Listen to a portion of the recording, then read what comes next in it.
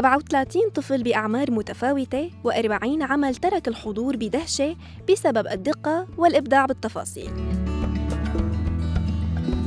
هي الأعمال ضمن معرض الحفر والطباعة وبرعاية من وزارة الثقافة السورية بصالة زوايا بدمشق. حاليا عملنا اليوم معرض حفر وطباعة أنا اختصاصي جرافيك حفر وطباعة فحاولنا اليوم إن نرسخ هذا الحفر الفن يعني الفن شامل وواسع وله كثير تقنيات مختلفة.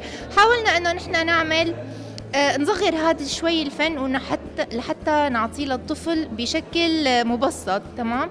بس يعني الأطفال فاجئونا بصراحة اشتغلوا أعمال كأنه فنانين كبار بعفويتهم بخطهم بجرأتهم. آه كثير كانت الأعمال حلوة. نحن حاولنا نبسط التقنيات اللي نحن أساسا تعلمناها بكليات الفنون الجميلة وندربهم عليها لليافعين واشتغلوا وطبعوا آه، طبعا نحن كان شغلنا مثل معسكر يعني يجونا الأطفال اليافعين يجونا أربع ساعات خمس ساعات كل يوم تقريبا. يعني آه، نقعد آه، نشتغل فترات طويلة. اشتغلنا تجربة آه، طبيعة صامتة بورتري حيوانات كل حدا اختار شغلة هو بحبها وحفرها وطبعها وعدة تقنيات مثل مثلا تقنية الأختام تقنية اللونوليوم اشتغلنا مثلا تقنية صناعة كليشة بالسيليكون. يعني كان كل شيء بسيط وكل شيء مبسط حتى لأعمارهم.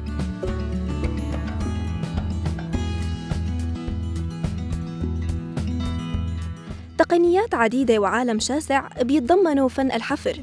نقلة أيادي اليافعين والأطفال بصورة مبسطة وبلوحات بتحاكي الطبيعة الصامتة ليعبروا عن وجهات نظرهم الخاصة بعد مجهود كبير بذل من قبلهم لإنجاح هي التجربة. حبيت شارك بوردة أنا كثير أنا بحب الورد. أه بشكر كثير معرض شغف أنه عملنا هذا الشيء الحلو.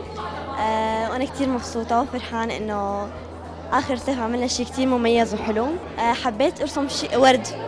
أه هيك يعني إنه شيء مميز وأنا كثير بحب الورد.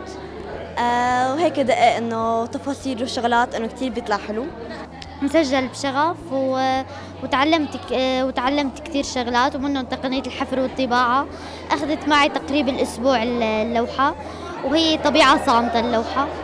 أنا أنا سجلت بشغف وتعلمت كثير أشياء. واليوم شاركت بأكثر من شيء بالمعرض وهي الرسمة اللي وراي هي هي للنحت. توفر البيئة الحاضنة والتعليمات اللازمة بالإضافة للممارسة الدائمة. هي أهم ما يحافظ على مواهب اليافعين والأطفال وبنميها لشريحة تعتبر مستقبل البلد وواجهته.